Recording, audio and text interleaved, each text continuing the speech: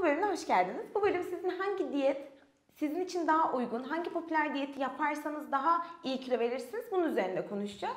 Bununla ilgili ilk diyetimiz e, intermittent fasting diyeti yani aralıklı oruç diyeti. E, belki bilenleriniz vardır ama ben kısa bir özet geçeyim. Belirli e, yeme pencereleriniz oluyor ve diğer saatlerde belirli saatlerde yiyorsunuz, belirli saatlerde e, yemiyorsunuz ve vücudu daha disipline sokmak için aslında kullanılabilir bir diyet. Sağlıklı yaşam açısından da eğer bir rahatsızlığınız veya herhangi özel bir durumunuz yoksa yapılmasına sakınca olmayan bir diyet. E, yine bu bu gibi diyetleri her zaman bir diyetisyen kontrolünüzde kontrolünde yapmanız daha doğru ama e, Şimdi belirli yeme saatlerimiz var dedik. İşte biz genelde 8 saat bir yeme penceresi tutuyoruz. Geri kalan saatlerde de kalorili hiçbir yiyecek veya içeceği tüketmiyorsunuz. Bunun başka bir formunda da e, haftanın 2 günü belirli kalorinin altında çok düşük kalorili beslenirken geri kalan 5 günü normal kalorili olarak besleniyoruz.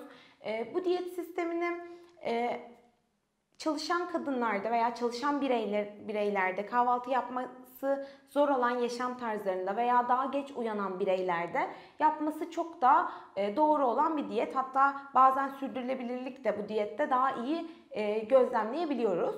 E, bunun, bunun yanında gece yeme problemleriniz varsa işte 8'den 9'dan sonra çok daha fazla yeme, yemek yeme gözlemliyorsanız aslında o sırada yemek yemeyi kesmek açısından da yani vücudu disipline sokmak açısından da e, yapılabilir, uygulanabilir bir diyet olduğu söylenebilir.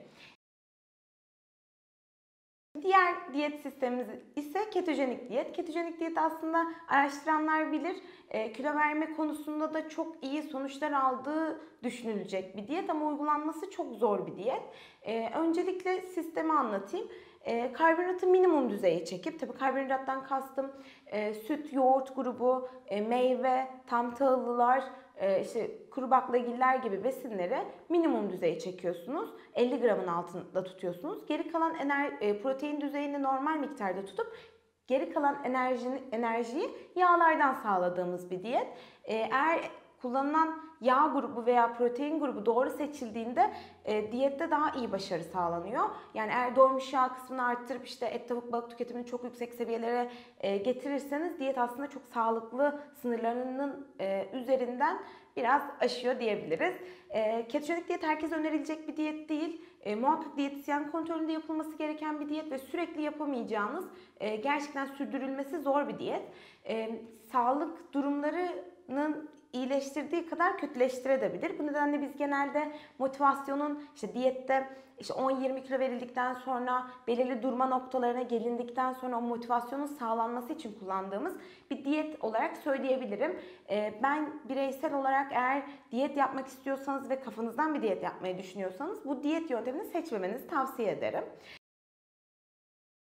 Ee, diğer diyet sistemimiz de yüksek proteinli diyet. Şimdi yüksek proteinli diyetten kastım protein miktarının yüksek seviyelerine, yüksek seviyelere çıkartıldığı diyet yöntemi. Aslında baktığınızda e, evet belki yağ yakımı konusunda çok daha iyi bir yağ yakımı ve kilo kaybı sağlayabiliyorsunuz. Çünkü vücutta proteinlerin kullanımı e, ve sindirilimi daha zor olduğu için daha çok kalori yakıyorsunuz. Ama aslında e, bu diyet sisteminin çok da büyük e, sağlık zararları dokunabiliyor. Örneğin e, proteinlerin bağırsaklarda atım ürünü amonyaktır ve amonyak bağırsaklar bağırsak mikrobiyotanıza zarar vererek aslında sağlık açısından bizi çok daha kötü noktalara götürebilir. E, ve şöyle de bir gerçek var. Protein aldığınızda aslında sadece protein alıyorum olarak görmeyin kendinizi. E, yediğiniz proteinli besinlerin çoğunda e, yağ grupları, doymuş yağlar da çok fazla bulunduğu için işte atıyorum bir kırmızı et yediğinizde veya et tavuk et tavuk yediğinizde çok da fazla doymuş yağ alacağınız için e, orada kolesterol gibi sağlık problemlerinin de çıkmasına zemin hazırlayabilirsiniz. E, bu nedenle yüksek proteinli diyetleri çok önermiyoruz. E, bu konuda dikkat edilmesi gerektiğini düşünüyorum. Geri kalan da.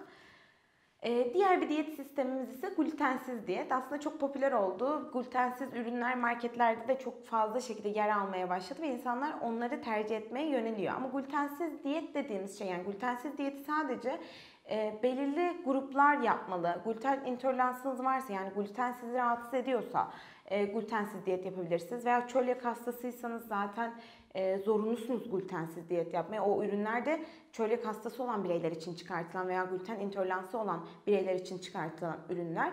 Bunun yanında hipotiroidi olanlar belirli bir süre deneyebilir ama tabii uygulanması zor bir diyet olduğu için ben genelde önermeme taraftarıyım. Çünkü e, denediğimizde e, uygulanması zor olduğu için insanları da diyetten itiyor durum. Bu nedenle e, o kısımda da dikkat edilmesi gerekiyor. Yine bir diyetisyenle çalışılarak yapılması her zaman daha doğru. Ama geri kalan zayıflamak için glutensiz diyeti düşünüyor, düşünüyorsanız o o kadar e, basit bir diyet sistemi olmuyor. Aksine çok daha zorlayıcı ve e, belirli besin ögelerini eksik alacağınız için glutensiz diyette bu durum da sizi besin yetersizliklerine götürebilir. Aynı zamanda glutensiz ürünlerin kalorisi düşük olarak düşünülse bile glutensiz üründen karbonhidratın da azaltılmış olması ve bunun yerine de e, yağ grubunun konmuş olması aslında o ürünlerin daha da kalorili olduğunu ve kilo vermenizde zorlaşmaya neden olacağını söyleyebiliriz. Kilo vermek üzerine de ekstra bir etkisi yok ne yazık ki.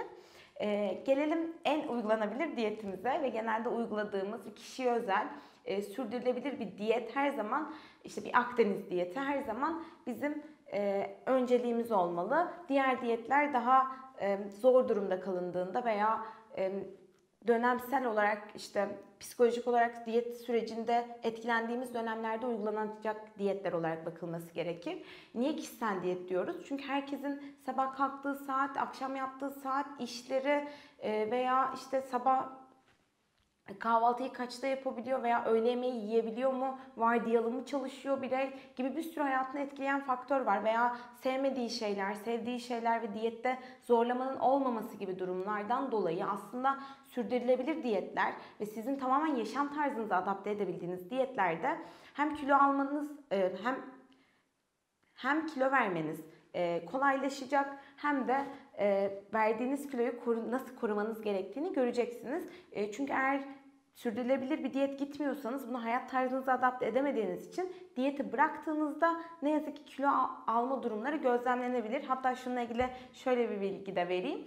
Ee, şimdi bildiğimiz gibi evet kilo ver, veriyoruz yani vermek o kadar zor gözükmüyor ama ver, verdikten sonra kilosunu koruyanlar yüzde verenlerin yüzde ikisi üçü kadar bu oran da aslında çok düşük bir oran. Bu nedenle önceliğiniz kilo vermek değil, verdiğiniz kiloyu korumak olmalı. Yani evet kilo verin ama verdiğiniz kiloyu koruyamayacaksınız. Kilo vermenizin aslında yararından çok zararını göreceksiniz. E, bu nedenle de sürdürülebilir diyetlerde kendi hayat tarzınıza uygun gittiğiniz için daha uzun sürede uygulayabilir ve daha iyi e, sonuç alabilirsiniz. Programımızın bu bölümünün sonuna geldik. E, sorularınız olursa benim Instagram hesabımdan veya Mulafit, e, Mulafit hesabından bize ulaşabilirsiniz. İyi günler dilerim.